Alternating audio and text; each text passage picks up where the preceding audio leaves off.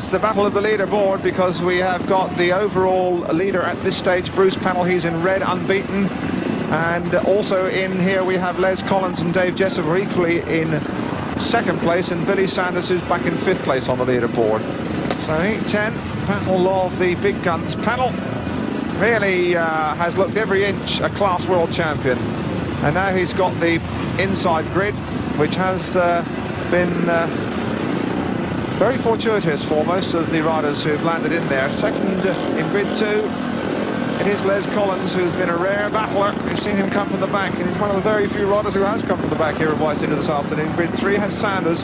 Jessup's on the outside. And one or two of the lads have been getting off grid four a bit lively too. So let's watch Heat 10. Penhall, Collins, Sanders, Jessup. View from high at the back It's away they go, and it is. Penhall has made a tremendous start. Penhall leads it. Second place, the battle's on between Jessup coming around the outside and Les Collins, and at the back it is Sanders. And it is Jessup who's stringing up inside Bruce Penhall, and the crowd are on their toes because Penhall, I'm sure, wasn't expecting that attack, and Jessup seems to have caught it with his trousers down. Oh, my word. Super Speedway from DJ catches his old rival there. Penhall's in second place. He's lost his helmet colour, but it is Penhall. Third is Collins. And uh, David Jessup, who's had a desperately unlucky season, we wonder if that's all behind him and this is the turning point. Let's hope so, because he certainly deserves it.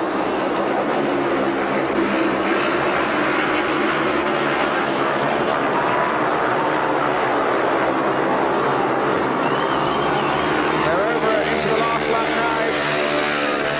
There's Jessup fine when he's in full pride. Penhall is second. The battle's on for third place between uh, Les Collins, who I think is going to hold on, and Billy Sanders. And Heat 10 has given the crowd really something to cheer about. Jessup wins it. Second place, the world champion Penhall. Third is Collins. And that really has opened up this overseas final.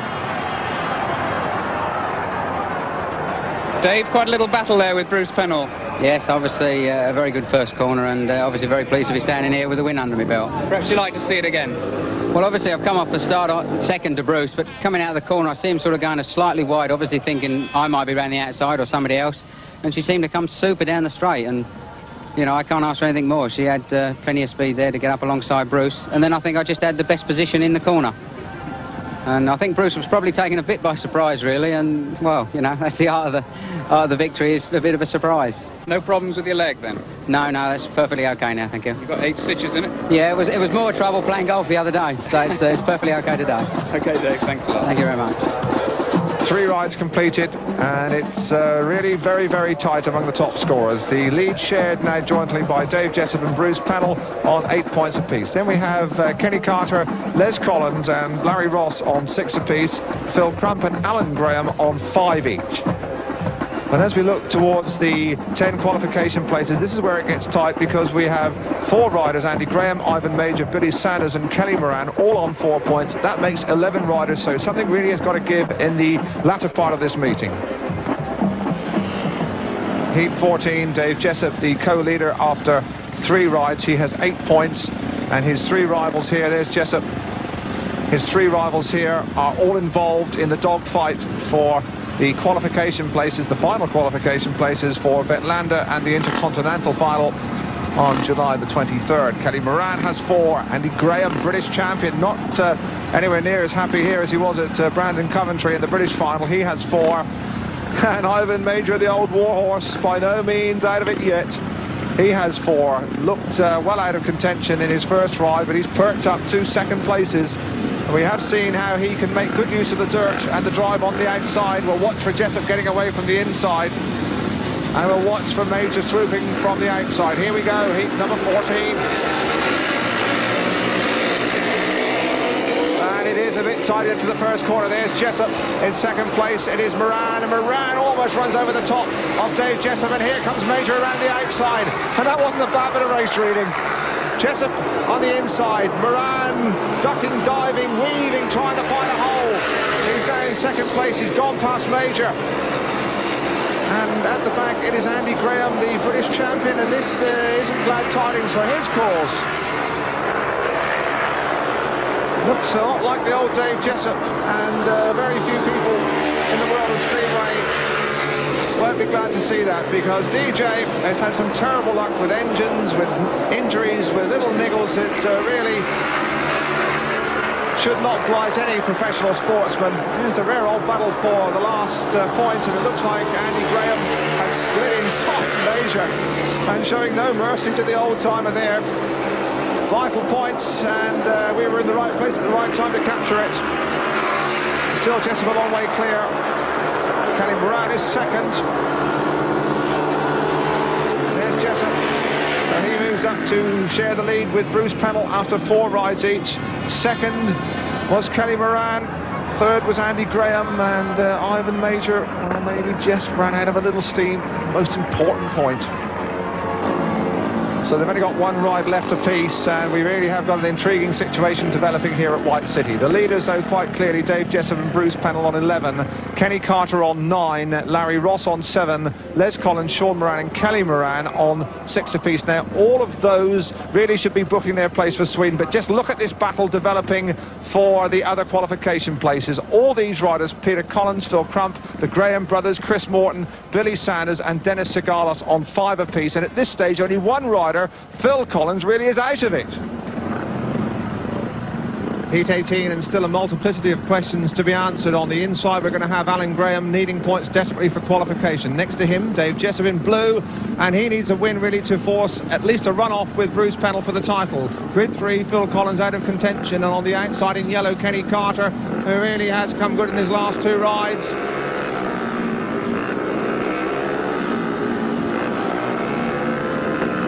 who's it going to be? And it looks like from the inside, Grahame, and on the outside, Kenny Carter. Carter will make his move around the boards. He seems to have the drop. He goes clear. Second place, just inching ahead. It is Alan Grahame ahead of Jessup in the blue helmet colour. So Carter in front. Grahame is second. Jessup is third, and Dave Jessup will have to get up, really, if he wishes to maintain his hopes of landing this crown. Carter, though, going clear. And here comes Dave Jessup through on the inside of Alan Grahame. Masterly move. We saw him make his move there against uh, Bruce Penhall. And Grahame almost rode over the top of him on the pit corner there. No holding uh, Carter up front. Jessup moves into second place. We wonder if that will be enough to land the crown for him. Carter, England's crown prince, many feel will be Bruce Penhall's greatest rival in Los Angeles in the final. Well, he made an indifferent start to the meeting, but he really has looked sharp in his last three rides, comfortably containing Dave Jessup into the last two corners. Carter will win it. Jessup will finish second. We can only conjecture if that's going to be enough for him. Third place, Grahame. It might be the end of the World Championship for him. And there is Kenny Carter. And the tyke on the bike really is looking good.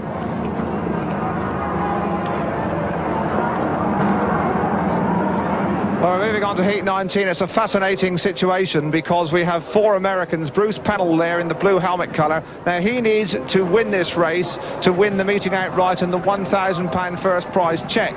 But he's got three Americans in here, all his compatriots, Dennis Sigalos, Kelly and Shawn Moran, and they're all in fighting for places. Now, there's Harry Oxley, the American promoter of the World Final. Ideally, of course, the Americans want as many of their countrymen through as possible, and we can but speculate if maybe Penhall will put country first and try to help his lesser scoring compatriots through here.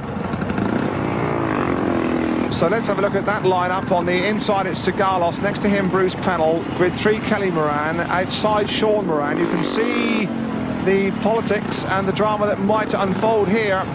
Penhall, well, he needs a win to win the title, but will he put his country first? We've seen team riding and uh, this kind of tactics by the Eastern Europeans before, and we can really but conjecture what's going through Bruce Penhall's mind there uh, as he lines if lines up if Sigalos wins it, it could make sure of his place. And away they go. And it definitely looks as though Penhall is putting the country first. Now that's a gesture. Sigalos is in front.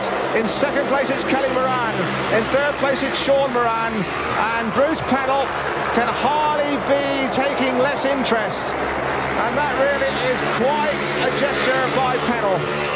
because he's throwing away the chance of £1,000 first prize and the overseas title. And they're losing their helmet colours all over the place.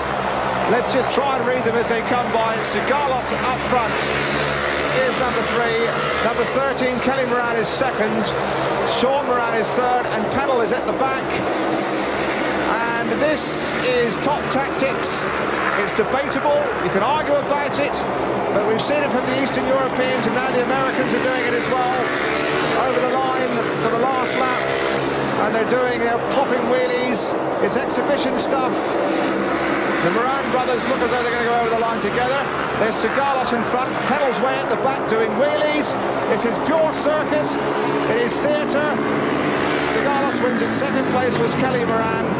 Third was Shawn Moran. Was at the back, and the White City crowd are not over keen on those kind of tactics.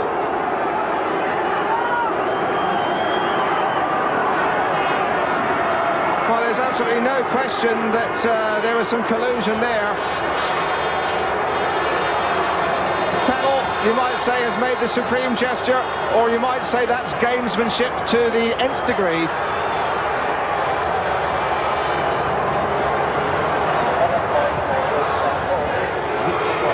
Well, Bruce, fair to say that was uh, tactics, if ever there was a case of tactics.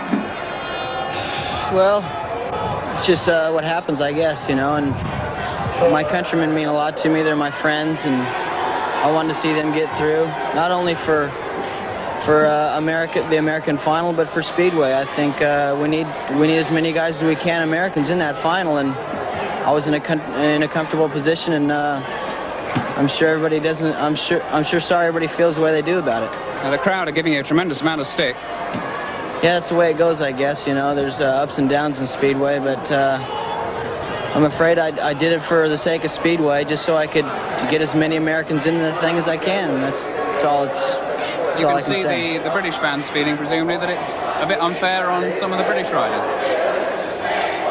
Well, we only have four American riders in here, and there's uh, quite a few other British British riders in here, as well as other riders. You know, what can I say? I'm, you know, I did the best I could today, and I got through. That's the main thing. I got to worry about my next round. You don't feel you're just a bit naughty? Yeah, a bit. Well, the world champion admitting that it was a bit naughty, but uh, the referee, he's a Dane, Kjell Christensen, says he is taking no action, and that's going to lead to a few inquests as well, because there is a regulation which says a rider can be excluded for not making a bona fide effort to race, and they're going to be talking about that one for a long, long time to come in Speedway. Still, the Eastern Europeans get away with it. Why not the Americans? The lineup for heat number 20, and it does make uh, life a bit interesting because all four are in with a shout of a qualification place. Les Collins has six points. He's the uh, better placed rider at this stage. Phil Crump is in grid two on five points. Ivan Mauger, well, is it the swan song, the final swan song for the old warhorse? Well, he's uh, made as many comebacks as Frank Sinatra, and he's just as professional a performer. He's in grid three, and on the outside is Chris Morton. And Morton has only a total of five points.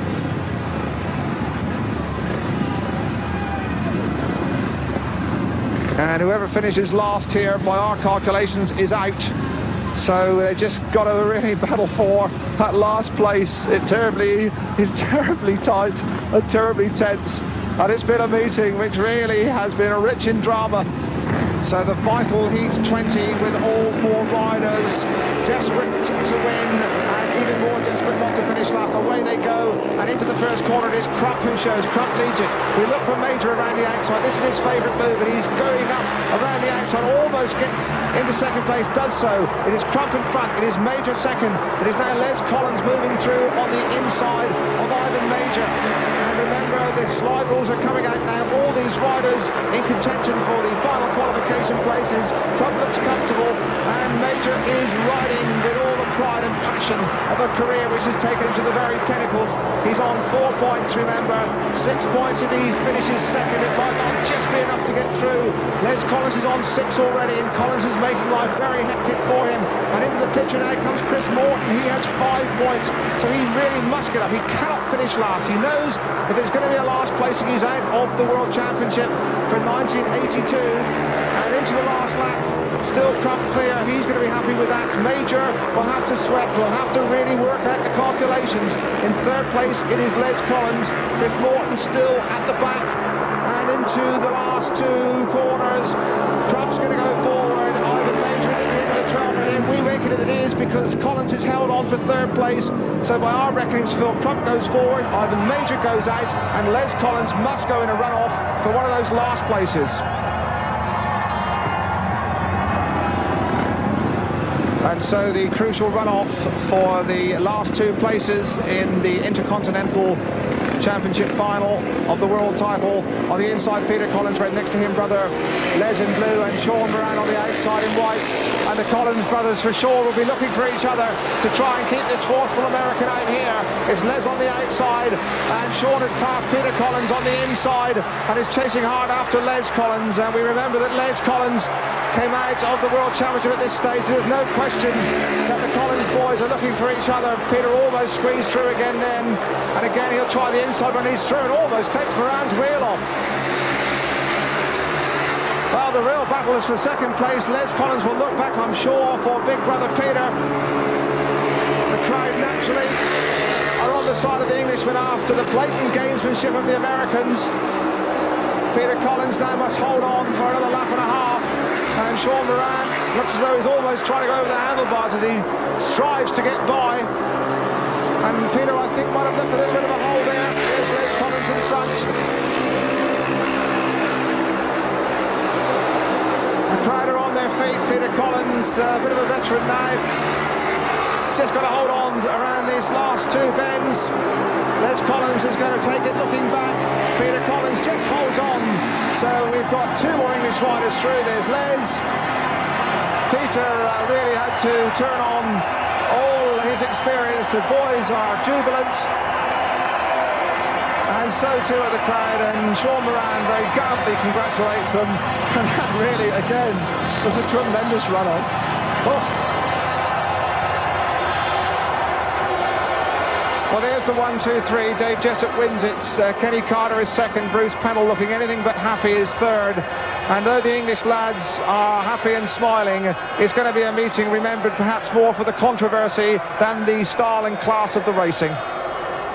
Well, there's Bruce Penhall, the rider who left Wembley as everybody's favourite, the darling of the English crowd, with his back to them, and now feeling and knowing what it's like to get the boos of a British crowd as well.